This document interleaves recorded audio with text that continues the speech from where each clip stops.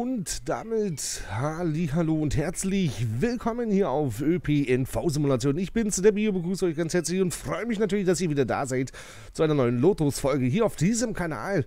Morgen Abend erscheint die erste Version von Forsthausen Modded by Joe. Dies wurde jetzt im Forum angekündigt und wir dürfen euch heute schon die Anspielfassung zeigen. So wie das heute hier aussieht, so könnt ihr das morgen Abend selbst fahren. Es ist natürlich das Original von mir, bloß er hat ganz schön viel dran gearbeitet, hat das Ganze natürlich im Forum gepostet, der liebe Joe, und ähm, hat hier ganz schön dran gewerkelt. wir sind mal auf das Endergebnis gespannt und ähm, das Ganze geht jetzt aktuell von der Hirtestraße bis Mahlsdorf Süd. Und ähm, der zweite Bauabschnitt wird dann der Hulchiner Damm, der natürlich die meiste Zeit wieder fressen wird. Das weiß ich jetzt schon, weil das hat damals auch beim Bauen sehr, sehr viel Zeit gekostet. Ich selbst bin natürlich gespannt, äh, wie sich das äh, weiterentwickelt hat, äh, Straßenbahn Forsthausen. Dadurch, dass ich das ja abgegeben habe, gesagt habe, okay, können sich mal andere Leute dran setzen. Ich habe das Grundgerüst hingesetzt und jetzt können sich andere Leute mal vielleicht mal ransetzen und das Ganze mal so ein bisschen äh, tüfteln, bauen. Wie würden Sie das machen? Ähm, Denke ich mal, habe ich mit Joe da doch einen sehr, sehr guten äh, Fang gemacht, denn mit Linie 68, die er gebaut hat von äh, Schmöckwitz nach äh, Grünau, ja, hat er eigentlich schon sehr, sehr gute Erfahrungen gezeigt. Und ich bin mal gespannt, ich bin mal gespannt wirklich, ähm, wie das Ganze jetzt hier, hier, sich fahren lässt und was er hier so alles angestellt hat. Ich hoffe, ihr seid mit dabei. Wir fahren das Ganze mit dem GT6N. Ja, klassisch heute mal mit äh, unserem Berliner Manta und äh, schauen wir mal, äh, wie wir da mal zurechtkommen. Deswegen würde ich sagen, wir springen rein, starten den Motor oder die Elektrik und äh, fahren mal los zur ersten Haltestelle. So, erstmal Schlüssel rein. Paragraph hoch. So. Hauptschalter. Mal einmachen. So, und jetzt müssen wir mal gucken. Haben natürlich ausgewählt. Äh, 24. Sehr schön. Das Ganze ist denn die 62. Äh, Ziel 24. So, damit haben wir den Mahlsdorf Süd. So. Und ähm, ja, somit sind wir eigentlich äh, startklar und können, wie gesagt, zur ersten Haltestelle mal vorziehen. Und dann lassen wir mal die Fahrgäste einsteigen. Und ich bin mal gespannt, was ihr davon haltet. Schreibt bitte, bitte gerne in die Kommentare, würde ich mich freuen. Übrigens, äh, die alte Waldbahn hat jetzt äh, der Fasus übernommen. Freue ich mich mal, mal gucken, was äh, Fasus aus der alten Waldbahn noch so zaubert. Hat mir auch schon das erste Bild äh, zugeschickt. Ich bin mal gespannt, ich bin mal gespannt. Und so macht es dann halt Spaß, denn, ne? wenn du so ein doch so eine Community hast, die sich dafür auch so ein bisschen begeistert. Los geht's!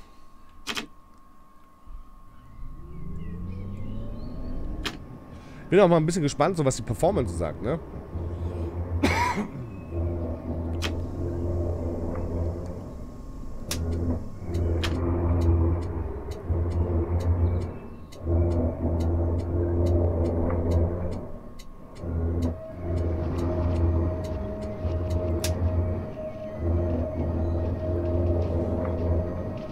Was ist denn hier los? Oh. Was hat, was hat er denn hier gemacht? Mit Baustellenwagen hat er hier eine kleine Baustelle inszeniert. Ist ja nicht schlecht, ist nicht schlecht. okay, er hat ein extra Gleis hier nochmal hingebaut. Weil ich glaube, das war ja nur eingleisig gewesen. Ich weiß leider nicht, ob die Ampeln funktionieren. Aber meiner Meinung nach dachte ich das schon, dass er da dran rumgewerkelt hatte. Wir warten mal noch ganz kurz und dann äh, schauen wir mal weiter. So.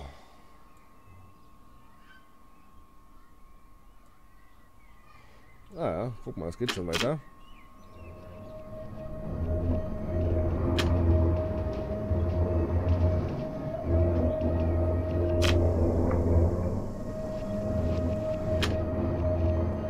Ja, das weiß ich gar nicht, ob hier eine Baustelle ist tatsächlich.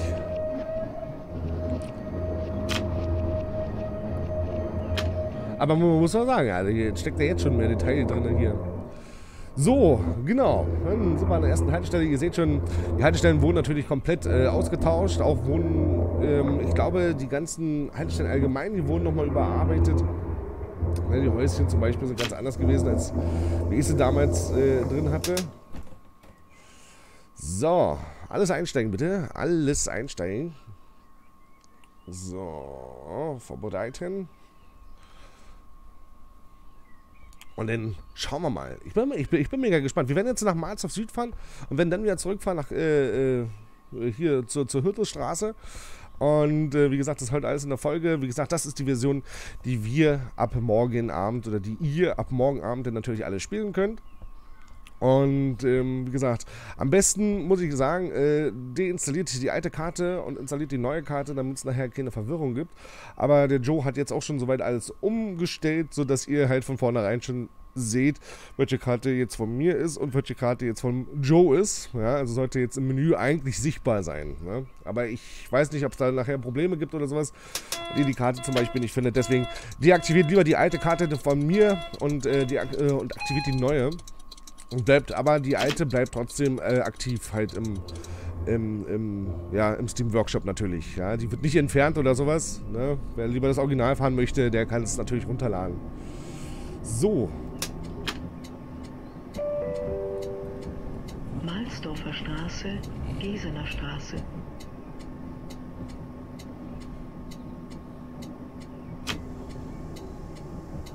Ja, hier ist natürlich auch alles neu, ne? Das sieht sah so damals bei mir nicht aus. das sah alles nicht so aus. Nein, das hat er, das hat er verändert. Er hat dann natürlich an der Vegetation richtig gearbeitet. Also ich habe ja natürlich ein bisschen übertrieben, was so die Bäume angeht und alles was. Ne? Das hat er natürlich ein bisschen äh, verbessert hier. Ne? Also da muss man wirklich sagen, da war er schon dran. Ne? Ich glaube, er meinte sowas mit fast 50% der Bäume. Also die kannst du wegmachen. Ja, also ja, das ist halt Forsthausen, ne? dachte ich mir so. Und dann äh, kann der ein oder andere Baum ja eventuell ja nicht schaden.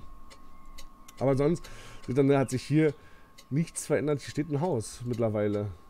Sehe ich gerade. Die Baustelle ist zwar immer noch da, aber... Boah, wie lange dauert denn jetzt hier die Ampelphase?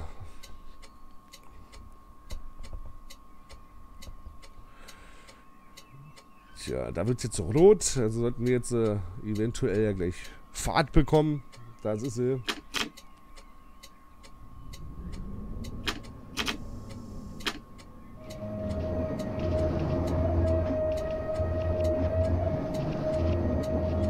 Ihr seht dann, ne? Also Haltestellen wurden überarbeitet.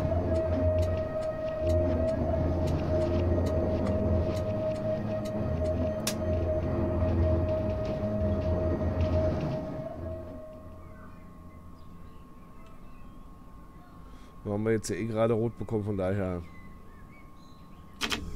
können wir auch ein bisschen langsamer ranfahren.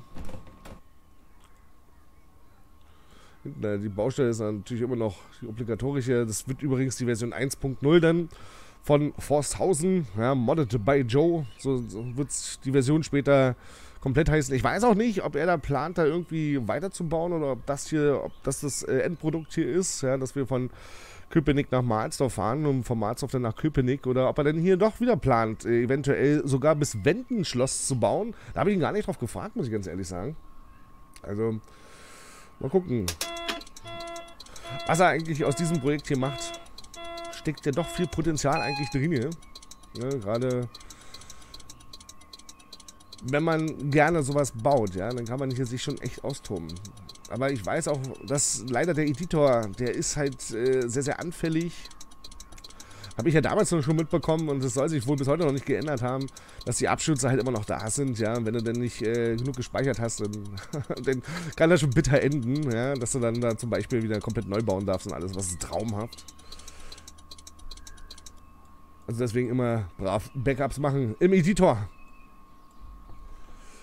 So, und Fahrt bitte. Dankeschön.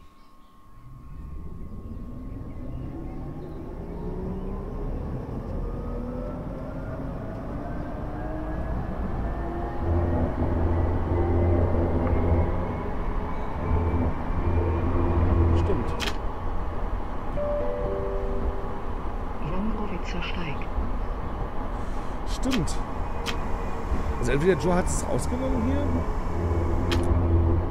Aber die Kurvenüberhöhung ist gar nicht mehr da. Ich habe da irgendwas gelesen, dass die Kurvenüberhöhung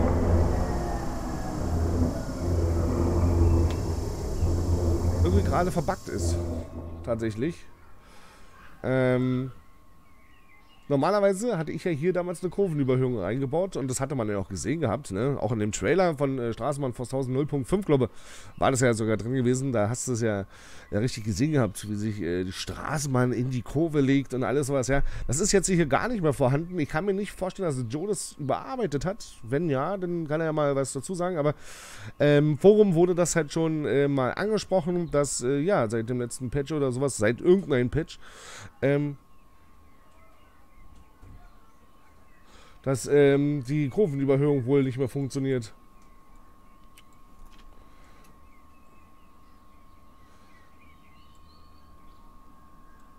So, hier sehen wir, oh doch, ja, so ein bisschen sehen wir was, oder? Ist es die Autoampel? Weiß es nicht. Nee, ist nicht die Autoampel. Da war jetzt ein bisschen schnell unterwegs. Oh, komm, wird doch grün. Wahnsinn. Stehst du länger? Weiß nicht, hier gibt es noch eine Abbiegerampel. Meiner Meinung nach.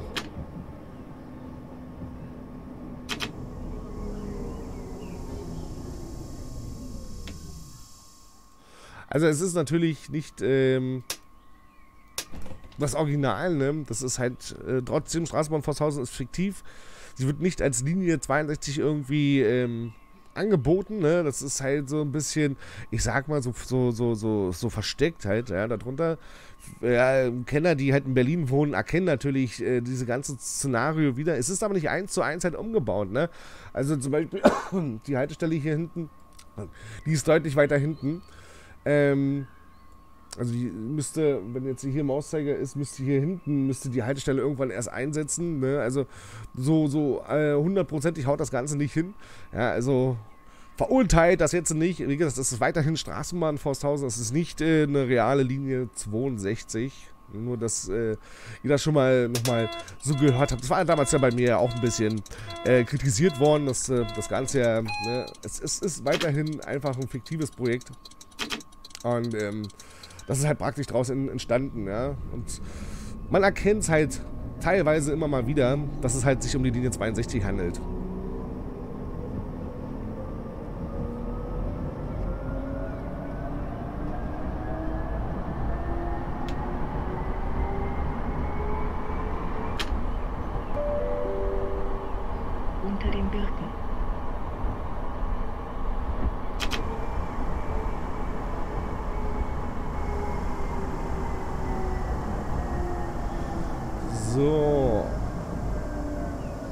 Aber hier gibt es immer noch diese heftige Performance-Probleme. Da kannst du nichts machen wahrscheinlich. Ne? Und ich glaube schon, dass der Joe da ordentlich dran äh, geschrubbt und gebaut hat, gerade was die Bäume angeht.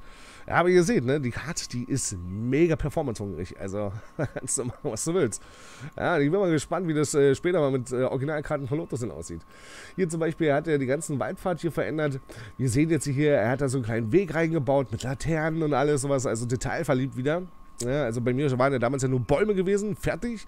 Ne, und er hat da jetzt halt so einen kleinen Weg reingebaut. Auch das hier sieht halt alles anders aus. Hier so der Mittelpfad, den wir hier haben, der sieht halt komplett anders aus. Er hat auch manche Straßen verbreitert, sodass da jetzt später auch mal KI-Fahrzeuge fahren können. Das wurde damals nicht mit einberechnet, ja. Dass die Autos drei Meter Breite haben. Und so dementsprechend, ja, ging das wohl nach hinten los.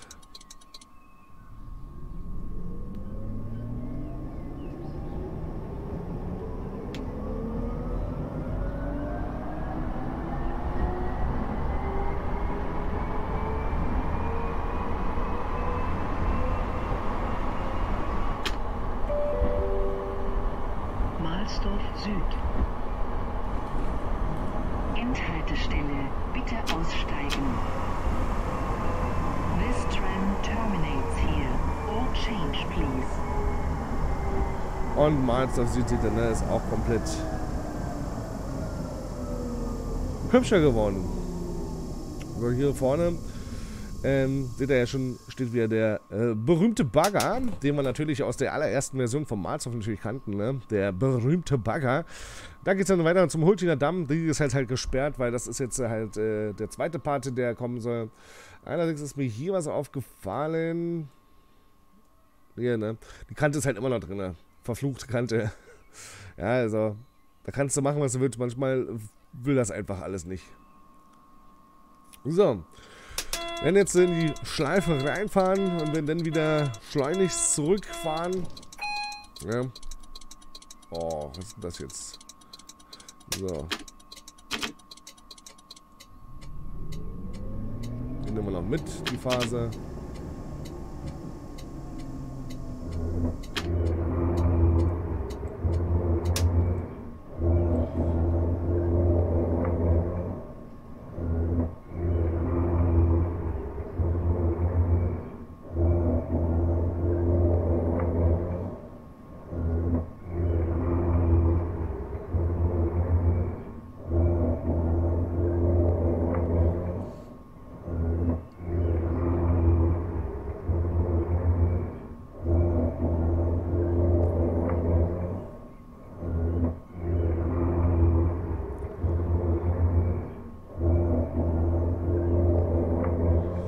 Natürlich die ganze Wendeschleife Marsdorf äh, Süd, ne? Die hat er einfach nochmal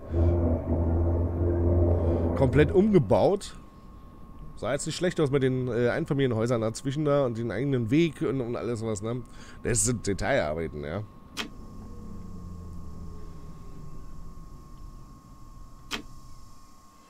So, lassen wir sie mal alle einsteigen nochmal fahren dann wieder zurück nach S-Bahnhof Köpenick in die Hirtestraße. Da ist dann unsere Endhalterstelle und da soll dann auch erstmal unser erster Cut sein für Straßenbahn, nee, für Forsthausen 1.0 in der ersten Version von äh, Joe. Ihr könnt, wie gesagt, gerne alles in die Kommentare posten, was euch jetzt noch so aufgefallen ist. Was, äh, was würdet ihr jetzt vielleicht noch ein bisschen versuchen zu verbessern? Wie gesagt, nutzt die Kommentarfunktion, schreibt rein. Natürlich auch Lob, ja, wenn euch die ganze Karte gefallen hat, denn ebenfalls Schreibt das doch in die Kommentare.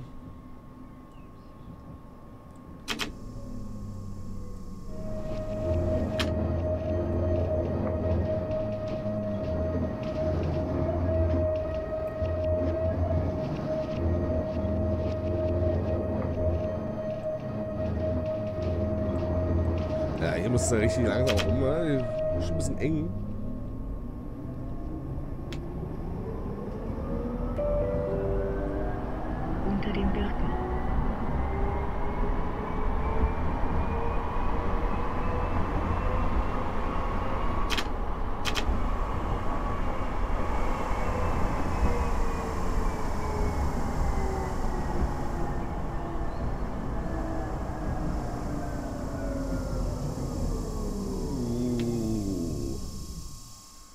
Da mussten wir jetzt einer ganz schön in die Bremsen treten. Also wenn wir jetzt definitiv an der Haltestelle vorbeigeschossen. Ja, was passiert mir jetzt auch schon. Was passiert mir jetzt tatsächlich auch schon. Ich habe auch vergessen zu schildern. Offiziell waren wir immer noch nach ähm, Hüttestraße, Köpenick-Hüttestraße 53 brauchen wir. So, dann haben wir Ziel 53. So, da sehen wir es jetzt. Jetzt sollte das auch Ganze schildert sein. So.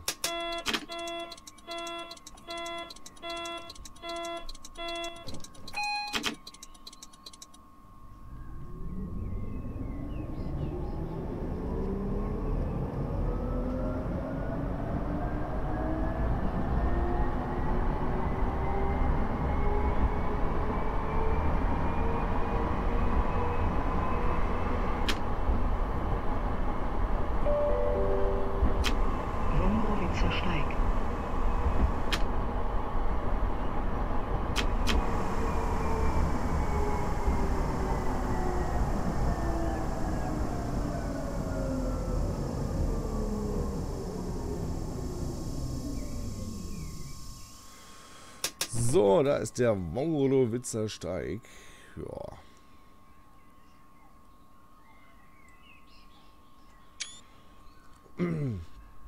Ja, also ich muss sagen, es ist wirklich sehr hübsch geworden. Die kleinen, aber feinen Details, die fallen halt auf. Ne? Wie gesagt, die neuen Haltestellen, ne? ich hatte ja damals ja diese ähm, fertigen Haltestellen benutzt. Äh? Das hat er jetzt hier komplett wieder um, um, umgebaut. In der allerersten Version hatte ich sie ja damals ja auch noch ähm, selbst gebaut gehabt, die Haltestellen. Ähm, erst mit der nächsten Version, glaube ich, kamen dann äh, die, die, die fertigen Haltestellenpositionen. Auch schön, ne? Die 63 fährt hier aber nicht Jo, das ist falsch hier. Die fährt doch nicht hier von Adlershof. Äh, Wongowitzer Steig fährt keine 63, oder? Haben die das geändert? Nee, oder? Hm.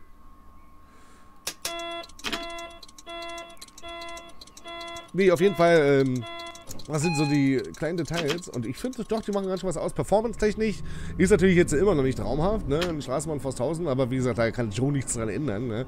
Er versucht natürlich, er hat so viele Abschnitte gefunden, wo zum Beispiel Gleise doppelt lagen, ja, wo viele Polygone übereinander gelegen haben.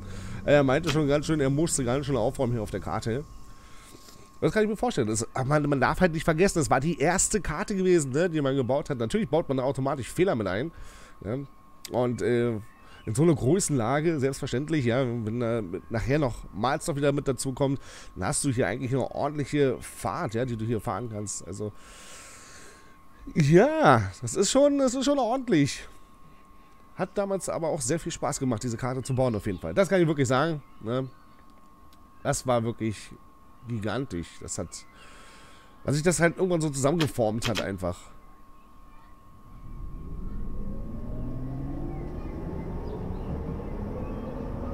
Aber warum hier diese Kurvenüberhöhung weg ist, weiß ich nicht.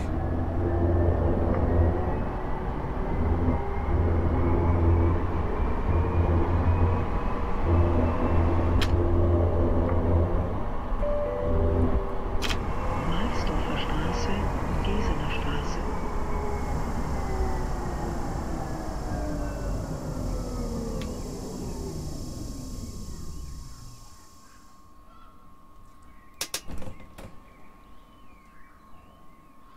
So, Mahlsdorfer Straße, Gesener Straße, unsere Haltestelle.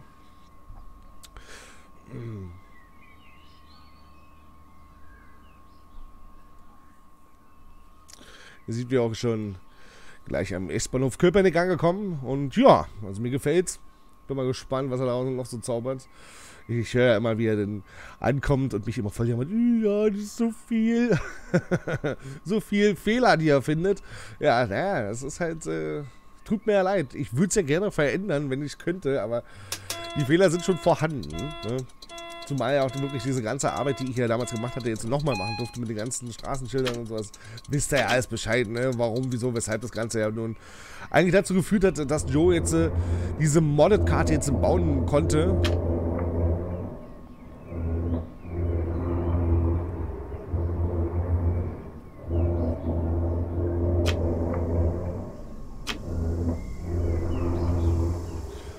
Aber ich glaube, ihr seht selber, dass die Karte eigentlich in sehr guten Händen ist, auf jeden Fall. Ja, also sollten da jetzt die nächsten Updates rauskommen von äh, Forsthausen, wisst ihr, dass hier wirklich jemand dran sitzt, der davon auch wirklich Ahnung hat. Ich glaube, mittlerweile müsste er ja fast die 1000 Stunden voll haben im Editor, so viel wie der da drin sitzt.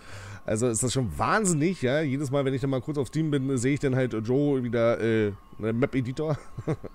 also da muss er schon ordentlich auf jeden Fall Zeit gelassen haben.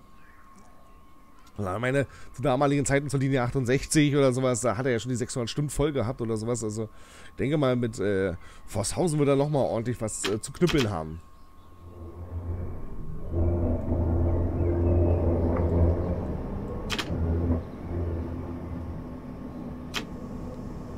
Wenn man sich das Ganze mal so ein bisschen betrachtet, also ich finde schon fast, dass das Ganze hier schon so Payware-Niveau hat eigentlich. Ja, also diese Karte ist schon so detailliert ausgestaltet, ja, also sieht man nicht wirklich viele Karten von äh, im Steam Workshop. Also da könnt ihr mir sagen, was ihr wollt. Also das sind halt wirklich wenige, sehr wenige Karten und ähm, Forshausen zählt mit dazu und ich muss ganz ehrlich sagen, es sieht großartig aus, ja. Also es gibt ja Elon München, ja. Ich meine nichts gegen München, München sieht auch toll aus, aber wenn man das beides jetzt mal so miteinander vergleichen würde, klar, München hat seine eigenen Objekte und alles sowas, was äh, Forsthausen noch nicht hat, aber da ist der Unterschied halt, Forsthausen ist Freeware und München ist Mod, ja. Also äh, äh, München ist DLC, Kauf, pflichtiger DLC, also Ne, da muss man mal so ein bisschen gucken. Und ich finde, wie gesagt, dass das hier schon ein sehr, sehr gutes Niveau erreicht hat mittlerweile.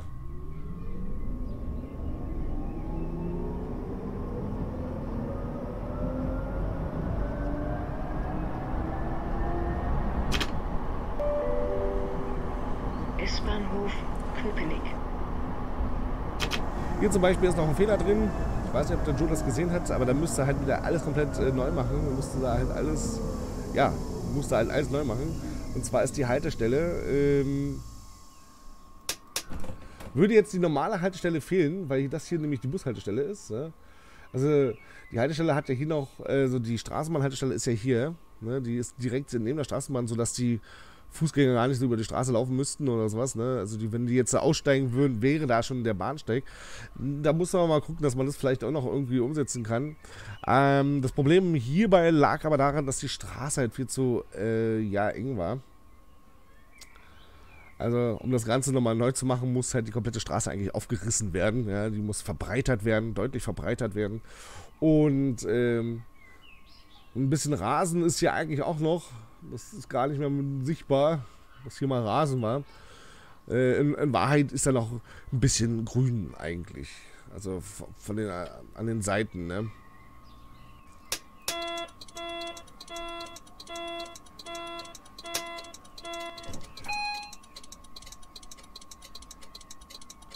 So, dann warten wir jetzt auf unser, auf unser letztes.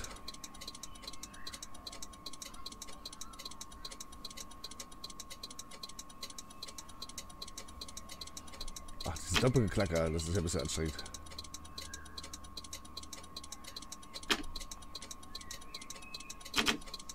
Hm. Kriegen wir jetzt nicht weg, das Doppelgeklacker. Ah ja verschwindet dann einfach irgendwann.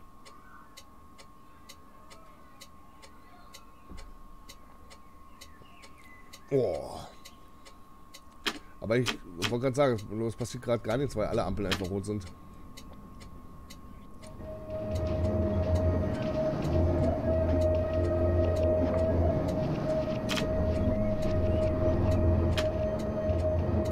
Ja, hier ist ja eigentlich äh, S-Bahn, ne? S-Bahn.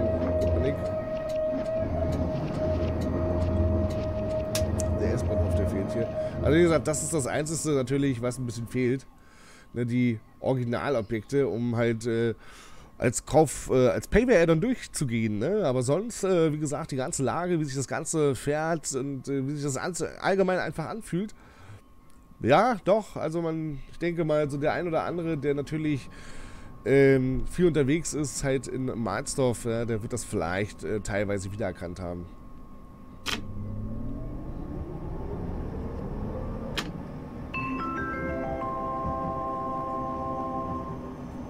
Straße. Endhaltestelle. Bitte aussteigen. This tram terminates here. All change, please. So, und alles aussteigen bitte. Also ich muss sagen, es sieht großartig aus. Hier ist noch ein kleiner Fehler drin, was im Polygon so ein bisschen geschuldet ist scheinbar. Ähm, ich finde es großartig, es sieht wirklich hübsch aus. Ich bin, wie gesagt, gespannt, wie es hier weitergeht, auf jeden Fall. Äh, wenn das Ganze dann mit dem Hulchiner Damm nachher noch dazu kommt und alles was. Denke mal, könnte das ein ganz schön äh, großer Erfolg werden. Ähm, ich finde, er macht das sehr gut. Er, er, er macht das richtig gut. Also, so performance-technisch ist klar, wie gesagt, ist immer noch kein Highlight. Ne? Aber wenn man mal so guckt hier, ne? also ich habe hier schon ein bisschen übertrieben, was die Bäume auf jeden Fall angeht. Ja? Also, ich war nicht äh, sparsam mit Bäumen. das auf keinen Fall. Ähm, und er muss das Ganze jetzt natürlich hier ein bisschen entwirren, ne, ent, ent, äh, entreißen und alles sowas, ne, damit das Ganze natürlich ähm, passt. Hat hier auch zum Beispiel neue Laternen zum Beispiel gesetzt, wie ich sehe. Und die bringen auch ein ganz stimmiges Licht. Ja, wenn wir mal jetzt ein bisschen mal gucken, ich jetzt sage, ich immer 20 Uhr. Äh, oh, ne, also geht das schon in Ordnung, so, so von dem Licht hier. Das sieht ja auch schon wirklich relativ hübsch aus. Ne? Das ist doch schon stimmig. Wie gesagt, Fahrzeuge stehen jetzt auf der Strecke.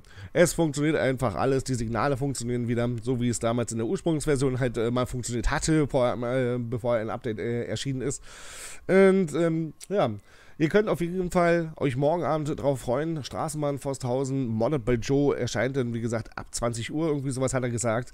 Will er das Ganze denn online stellen, also Freitag, den 17.05. ab 20 Uhr, könnt ihr selbst wieder Hand anlegen an Straßenbahn Forsthausen mit Signale komplett überarbeitet Und ähm, ja, ich bin auf eure, auf eure, auf eure Meinung gespannt. Was hattet ihr denn jetzt von Straßenbahn Forsthausen in der Version 1.0 von äh, dem Joe? Schreibt es in die Kommentare. Mich würde das brennend interessieren. Und wenn euch das Video natürlich gefallen hat, dann ein Däumchen nach oben, freue ich mich drüber. Ja? Und sonst sehen wir uns hoffentlich zu einem neuen Lotus-Video hier auf diesem Kanal wieder, äh, wenn es weitergeht hier. Damit verabschiede ich mich. Danke, danke fürs Zuschauen, ihr Lieben. Ciao, tschüss und hoffentlich wieder bis zum nächsten Mal. Tschüss.